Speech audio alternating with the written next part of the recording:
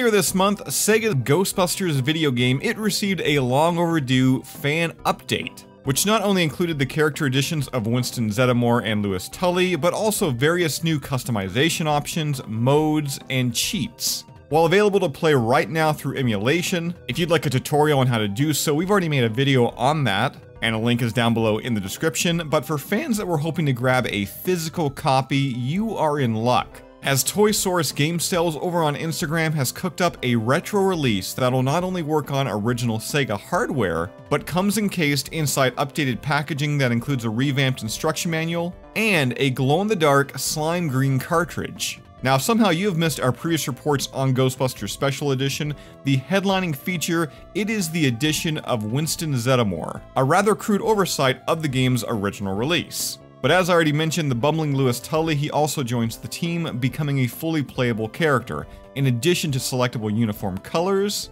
and difficulty settings that include the new Nightmare mode, which also introduces Vigo the Carpathian. Alternatively, for those looking to make the game a bit easier, a handful of cheats have been added, which includes my personal favorite, giving the ability to dish out double damage to those pesky apparitions. If you'd like to guarantee your copy, Ghostbuster Special Edition is available for a limited time exclusively through Toysaurus Game Sales on Instagram. It's priced at $60, and all you gotta do is send Toysaurus Game Sales a follow request, and then just shoot them a message and place your order. We should also add that despite the physical game release receiving praise from Billy Time Games, one of the modders behind the project, much like the patch, this has been made by fans for fans and is not endorsed by Columbia Pictures Ghost Corps or anyone who worked on the original 1990 release. As expected, you know Ghostbusters news, we have placed our order for a copy of this, so if you haven't done so already, be sure to subscribe as in the coming weeks, we're going to be featuring a full unboxing. That's all I've got for you here right now. If you'd like to join up with Ghostbusters News, check out our Patreon page. A link to that is down below in this video's description,